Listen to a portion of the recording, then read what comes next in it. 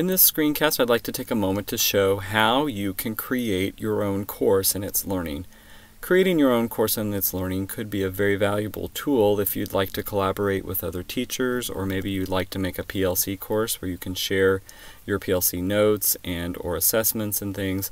So I'm going to start by going up here to courses and I'm going to click on all courses so I can get more of my course creation options. At the top of the screen, I'll see a green Add button. I'm going to go ahead and click the Add button, and I'm going to go here to my title, and I'm going to call it the title of my course. Your school will come up here, and we're going to hit Save.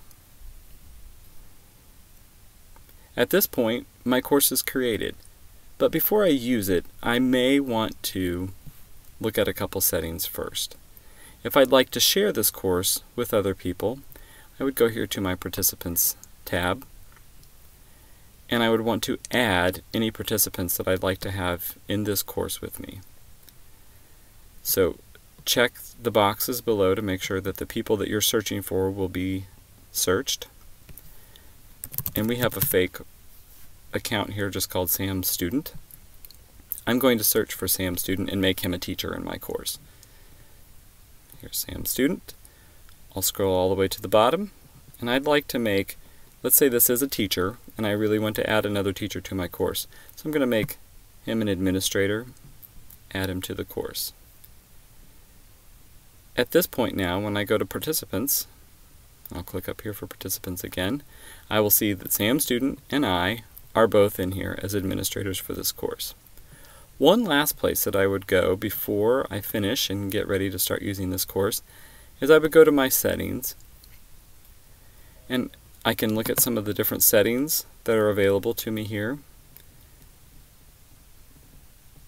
The functions that I'd like to be available and I would probably leave all of these turned on unless you know that you don't need them.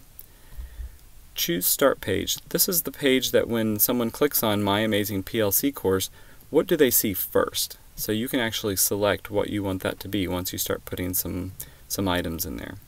I'm going to click Allow Withdrawal so that the, the teacher can withdraw themselves from my, from my class if they would like to, or from my, my course that I've created here. And I'm going to go ahead and hit Save.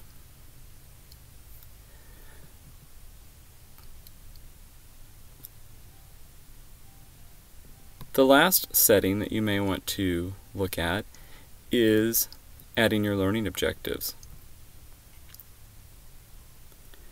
And we have a tutorial on this, but I won't go into this, but you can go and find and add your learning objectives.